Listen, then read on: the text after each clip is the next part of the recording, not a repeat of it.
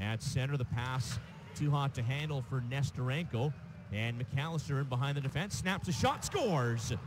Blocker side on Matthew Caron.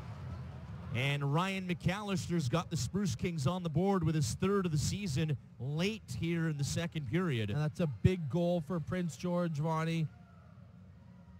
You had to think